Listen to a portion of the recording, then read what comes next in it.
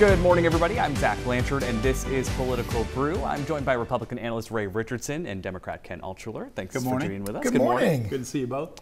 We want to start out in Augusta, where the drawn out legislative session continued this week. A big blow for Democrats. The House just couldn't get enough votes to override Governor Mills' veto on tribal rights legislation. The bill would have given more federal benefits and funding to the Wabanaki tribes. Now, despite having a two thirds majority in a vote last month to override a veto, a vote in the House this week just didn't make the mark. But both sides admit the issue isn't going away.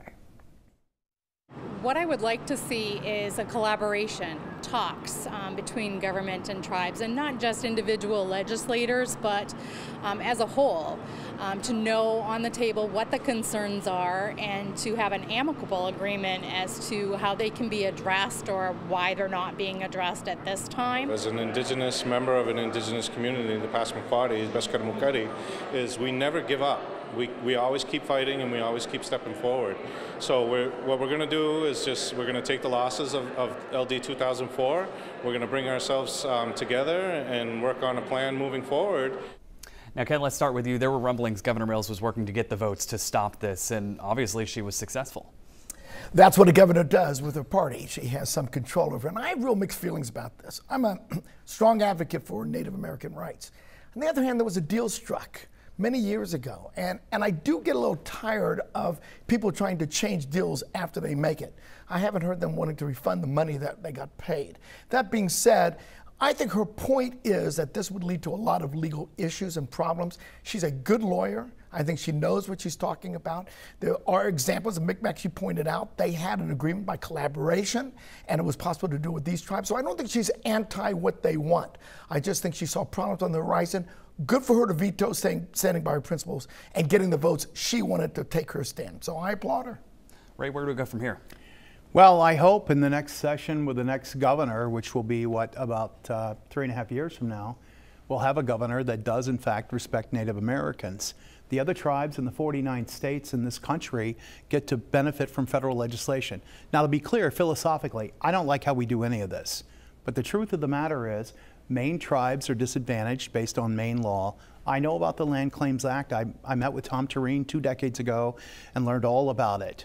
But at the bottom line here is Maine tribes are disadvantaged, they're hurting, and this would have been a big help. Governor Mills made a mistake. But Ray, they made a deal. You as a Republican, I must say, I would expect you to say, a deal's a deal, you don't change it 30 years later. So well, it was actually 43. 40, was it? 80 to 40, you're right. Yeah, 1980. About 40 years, you're right. a lot has happened, and look, there's been 165 federal laws that our tribes cannot be advantaged by. They're disadvantaged at, compared to the tribes around the country, and I think it's time to move on. I mean, I, I was not here in 1980, but I, as I said, I met with Tom Tureen, learned all about this deal. I think it's time to give our tribes at least some form of sovereignty. Should they pay the money back? No, I don't think so. No, I don't think so. He's a no, Republican. I, am no, not, I'm just going to say Ken's doing the work for me. Yeah, no, I just, um, I, I, just think it's time. I mean, we, we can't expect people to move forward and then put chains around them, and that's what we've done here. All right, working our way down the list. It's being called the most progressive abortion rights legislation in the country, and it is all but law. It allows abortion even after viability, so long as it's deemed medically necessary by a doctor. The Senate voted to enact the bill Thursday, sending it to the governor's desk. Governor Mills is expected to sign it next week. Ray, are you surprised this made it across the finish line? No, no, I'm not. Um, I'm so disappointed. I can't even begin to tell you. I gave my first speech against abortion in 1990. Um, I think this is an affront to God and affront to uh, the people of Maine. I don't believe the people of Maine support a post-viable abortion. I just don't believe it. I know there was some nebulous poll out there, but if you looked at the details of the poll, the poll didn't tell the truth. There are no boundaries, there are no safeguards, there are nothing here. Even the Press Herald, one of the most liberal papers in the country, said it's the least restrictive abortion law in the country. This is an affront to humanity, and I, I'm just I, can't even begin to express my frustration with these people. Ken? I gave my first speech pro choice in the 1970s, aging myself a little bit. And I'm pro choice, not pro abortion, pro choice. And this is between a woman and her doctor, which is the way it should be. And there have been no late term abortions. Last year, there were none in the state of Maine. This is a rarity, but there are cases where a woman and her physician believes that it's necessary to terminate uh, the, the child, which I consider to be a living thing. I'm not disputing that or doubting that, but it's a choice between the woman and the doctor. It's not the place for the government to interfere. As the Republicans said during the masking during COVID, the government can tell you not, you know, to wear a mask, but they can't tell you about abortion. You can't be have it both ways, Ray. So, well, I'm not having it both ways. If a child's viable outside of the womb, it's a human being. It deserves the opportunity to live and live out its dreams and Governor Mills. And but in this case, it's up to the doctor. That's exactly right. Well, uh, and her, let's and face patient. it. I mean, everybody keeps saying, "Don't you trust doctors, Ray?" Well, during COVID, there were a lot of doctors who spoke out against what the government was saying. They were silenced. Some of their licenses were suspended. Some are revoked. All you have to do is look at the state website. I think that there are doctors who think abortion at any point is okay. So you doctor shop, just like people drug shop. We all know you can drug shop if you want opiates with a doctor. So no, I don't trust any of this. If a child's viable outside of the womb, that child should be allowed to live. I don't support abortion in any regard. But this is an affront to humanity. We kill innocent lives sending drones into Syria. We execute people under the death penalty. We choose over life and death. And a doctor and a woman has a right to decide what to do in her own body. I have never advocated for war, and I do not support the death penalty because I believe that all creations are precious and unique. I like your consistency. I support the death penalty, so there you go.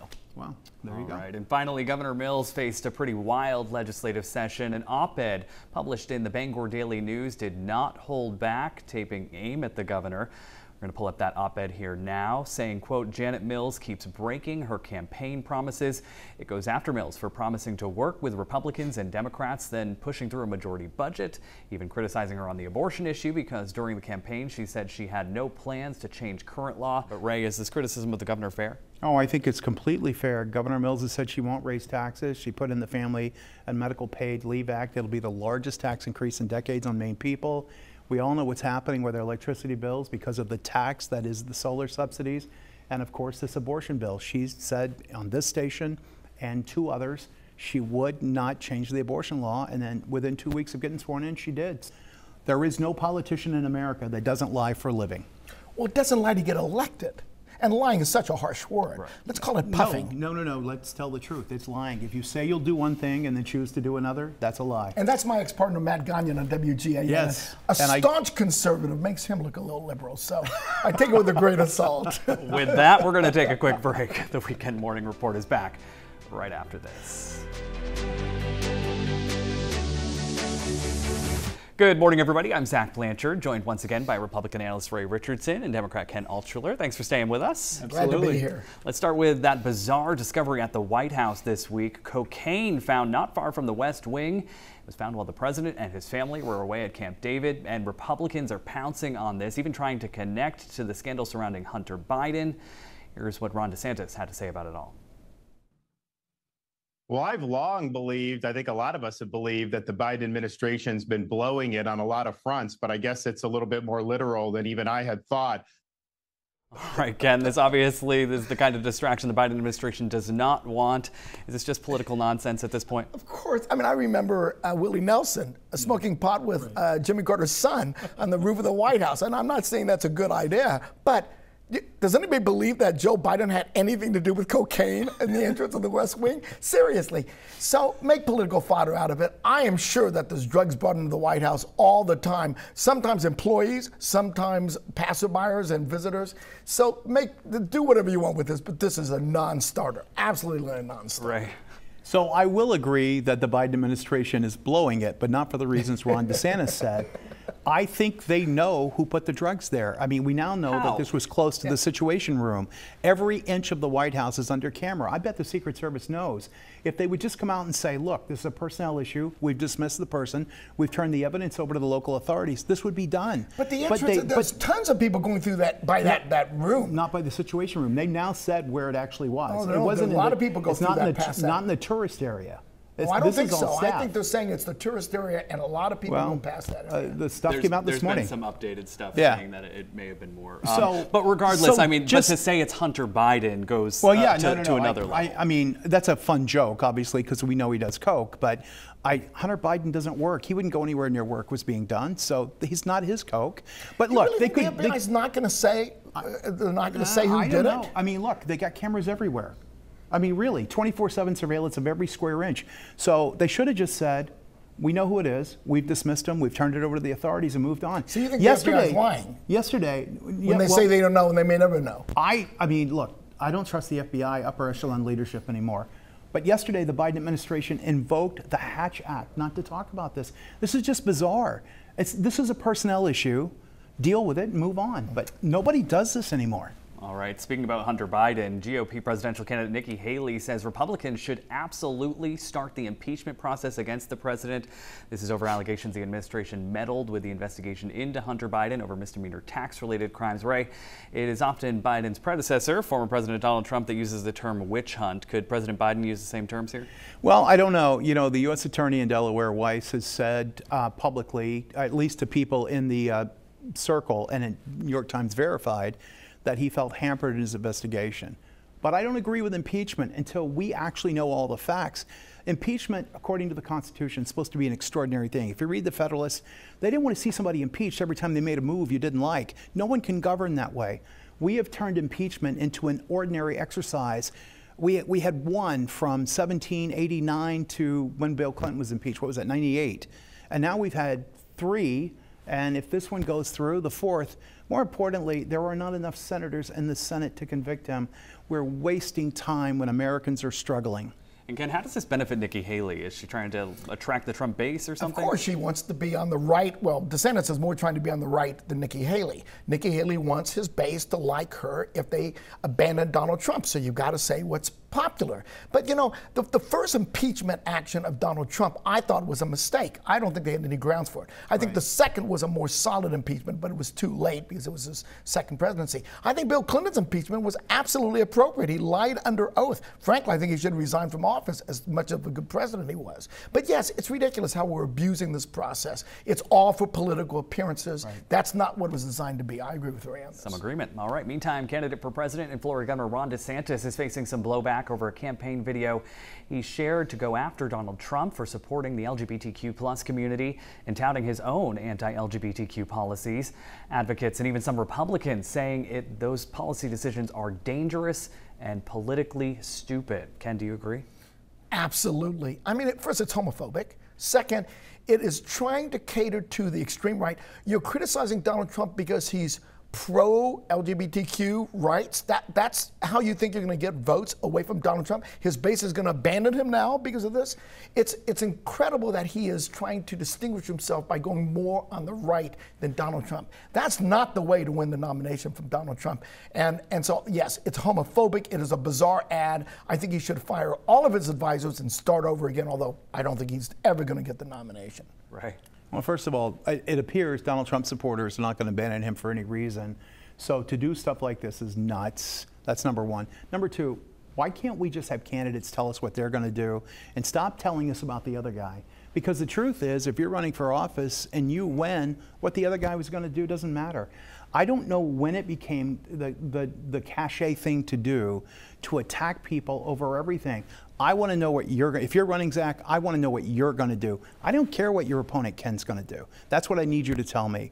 And we just don't do that here anymore. It's just nuts. I wish it would stop, and it is harming our country. All right. Finally, winners, losers. Ray, we'll start with you.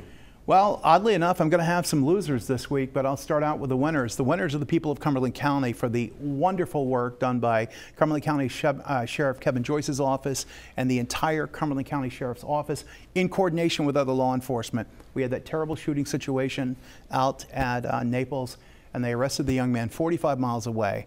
Uh, just so much credit to those guys. My losers are two. My first loser are the innocent, unborn, viable children of Maine. That's my first loser. The second is this legislature, who they should all resign in shame for what they've done to hurt Maine, from the solar subsidies to this big tax to allowing innocent, unborn, viable children to be have their life taken. They're a disgrace, and I wish they would resign. Ken. Wow. The winner of the week is Mark Zuckerberg for uh, starting Threads and giving it to Elon Musk, who is my loser of the week for spending billions of dollars on a worthless thing he purchased. I hope he loses all of his money. Good going. And I don't like Mark Zuckerberg, so congratulations to him. Did you sign up for Threads? Uh, I haven't yet because too many people are signing up. So I'm going to wait till it calms down a little bit. And, wow. and I've canceled my Twitter account long ago. All right. Did you have a loser? Was your loser yes, uh, Musk? Uh, Elon Musk is my loser. All right. and with that, we want to give you a heads up that this is the last political brew of the season. We'll take a break for the summer and be back in a couple of months with some new voices and new discussions about the major issues facing our state and country. The Morning Report's back right after this.